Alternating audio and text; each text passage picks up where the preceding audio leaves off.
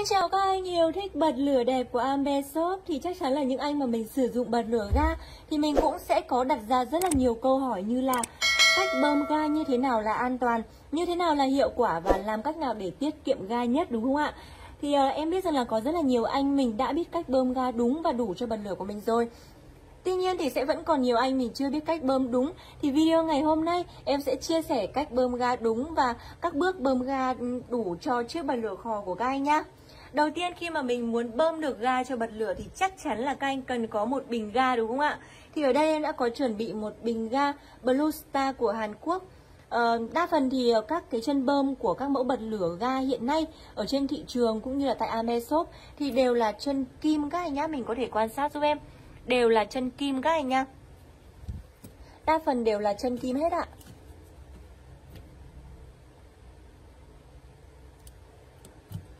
Đa phần đều là chân kim hết các anh nha Có điều là hiện nay trên thị trường thì lưu hành rất là nhiều loại ga nhái Thì các anh mình lưu ý là mình nên tìm những cửa hàng uy tín để mua các anh nha à, Em khuyên các anh là mình nên lựa chọn bình ga Blue Star màu đen của hãng Hàn Quốc này bởi vì chất ga rất là tốt, chất ga không hề lẫn tạp chất cũng như là đảm bảo không hề gây độc hại cho sức khỏe của các anh khi mà mình sử dụng các anh nha.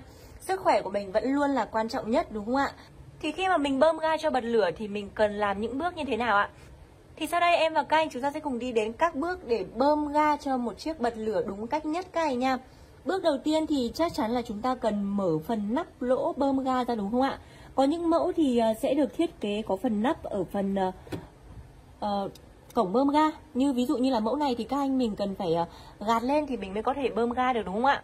Tuy nhiên thì cũng có một vài mẫu là mình không cần phải uh, gạt lên thì mình cũng vẫn có thể bơm trực tiếp được luôn. Các anh nhá đây thì mình không cần phải mở ra thì mình cũng có thể bơm được luôn các anh nhá. Rất dễ dàng và đơn giản thôi. Em lưu ý với các anh là khi mà mình ờ, bơm ga ấy, thì mình lưu ý là mình nên xì hết cái ga còn sót lại ở bên trong đi các anh nhá. Ở bên trong bật lửa ấy ạ. Nếu không thì ngọn lửa sẽ bị bập bùng vì cái nồng độ trong hai bình ga là khác nhau. Khi mà mình uh, uh, bơm một bình ga mới Nói dễ hiểu hơn thì là chúng đang đánh nhau trong chiếc bật lửa đấy ạ. Kể cả khi hai bình ga cùng một hãng các anh nhá Thì mình lưu ý giúp em là mình nên xả hết ga cũ ở trong đi Rồi mình mới bơm giúp em các anh nha. Thì sau đây em đã chuẩn bị một chiếc bật lửa ở đây rồi. Một chiếc bật lửa đến từ thương hiệu Kohiba Rất là đẹp đúng không ạ?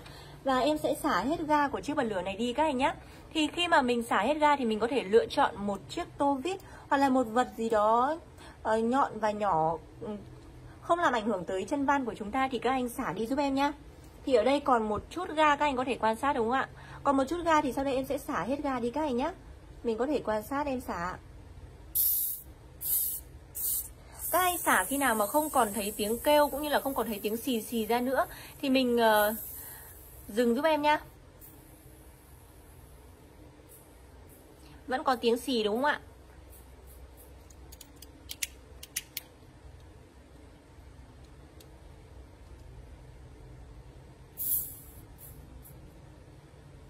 Em đã xả hết hoàn toàn ga của chiếc bật lửa này đi rồi các anh nhá. Khi mà xả hết rồi thì uh, tiếp theo thì chúng ta sẽ làm như nào ạ? Bước thứ hai là các anh sẽ dốc ngược chiếc bật lửa xuống như vậy các anh nhá. Mình dốc ngược xuống và cái phần lỗ bơm sẽ được hướng lên trên như thế này ạ. Phần lỗ bơm sẽ được hướng lên trên như thế này. Và mình dốc bật lửa xuống như này giúp em nhá. Và sau đó bước thứ ba là mình định hình bình ga với cái lỗ bơm. Tức là mình sẽ mở bình ga này ra. Giúp em và mình sẽ đặt vị trí của đầu bơm và cái chân bơm vào ờ, nhau. Giúp em các anh nhé. Sau đó bước tiếp theo là mình sẽ ấn nhả ờ, một cách ờ, nhịp nhàng. Hai giây mình sẽ nhả một giây các anh nhá. Và bước thứ năm là các anh sẽ lặp lại nó khoảng 5 tới 7 lần. Thì sau đây em sẽ bơm các anh nhá.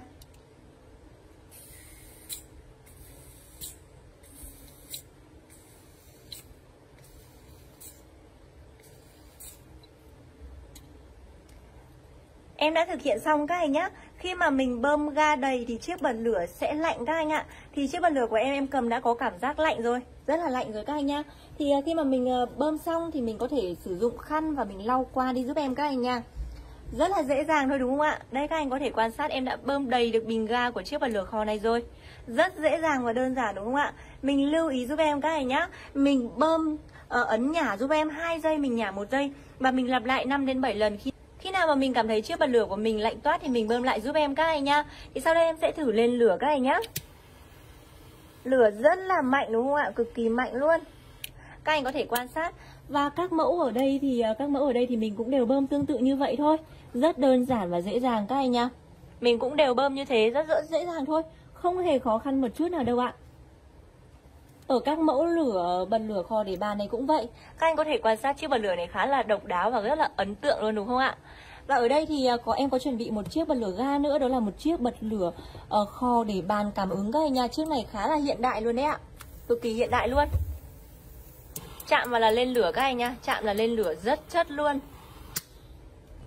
và nếu như mà anh nào mình thích mẫu bật lửa kho thương hiệu đến từ Pháp thì mình có thể lựa chọn mẫu của thương hiệu Casetti này các anh nhá.